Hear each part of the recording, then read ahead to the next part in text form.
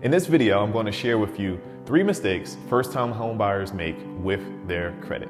My name is Dominique Brown, the owner of the YFS Academy and Your Finances Simplified. I help people just like you win at finances so you can have time freedom, financial freedom, and the location freedom you deserve. And I do this by showing you how to improve your credit, save, budget, and invest. Now let's face it, how to build credit isn't a topic that's taught in schools and it's not often taught at home either. So when you start making your own money, paying your own bills, and looking for your first house, you might realize that you've made a few credit mistakes while learning on the fly that makes it harder to buy.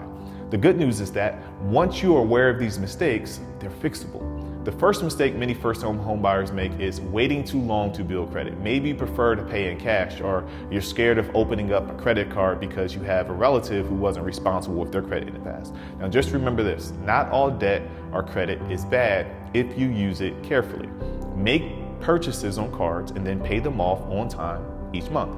Set up automatic payments if you think you'll forget to pay. The sooner you start building credit, the sooner you can establish positive payments history so you can buy a home. The next mistake is not knowing the benefits of credit line increases. Now, don't get me wrong, you shouldn't be asking the credit card company to increase your limit so you can spend more money right before buying a house.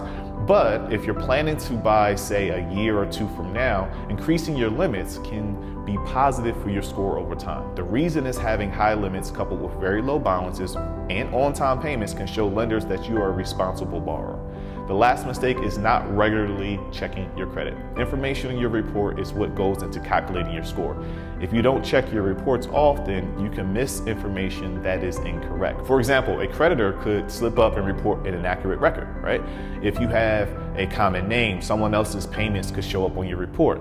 You could even be a victim of fraud. Disputing with each credit bureau takes time. That's why reviewing reports and filing disputes is something you want to get on top of ASAP, even if you're still on the fence about buying. Now, if you don't have the time to file disputes, that's what we specialize in.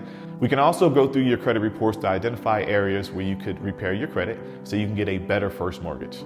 Talk to you soon.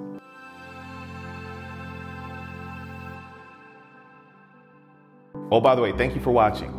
Make sure you like, comment, subscribe to our channel, and check out our description below this video. We have updated links to our best programs and offerings that can help you reach your goals faster. We look forward to helping you reach your goals, and we can't wait to talk to you in the next video.